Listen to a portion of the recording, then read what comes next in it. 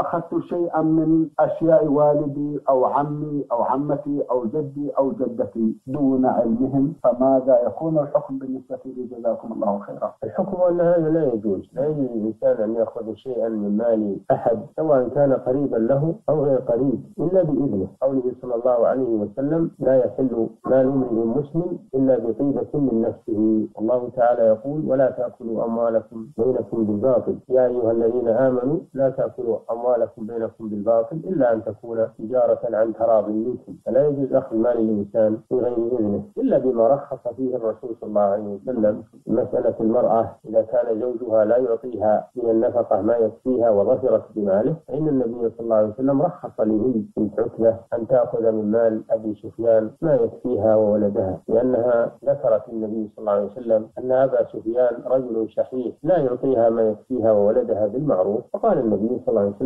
خذي ما يكفيك وولدك بالمعروف لأن هذا حق لها لم تتعد فيه عليه. أما إذا كان الزوج ينفق وقائم بالنفقة فلا يجوز لها أن تأخذ من ماله شيئا إلا بإذنه. وكذلك سائر الأقارب وسائر الناس لا يحل لا تحل أموالهم إلا بإذنهم إلا ما كان من الوالد فيما يأخذ من مال ولده يعني الوالد أن يأخذ من مال ولده ما لا يضره ولا يحتاجه لأن الولد وماله لأبيه كما قال النبي صلى الله عليه وسلم. وقال صلى الله عليه وسلم إن أطيب ما أكلتم من كسبكم وإن أولادكم من كسبكم. نعم. جزاكم الله خيرا.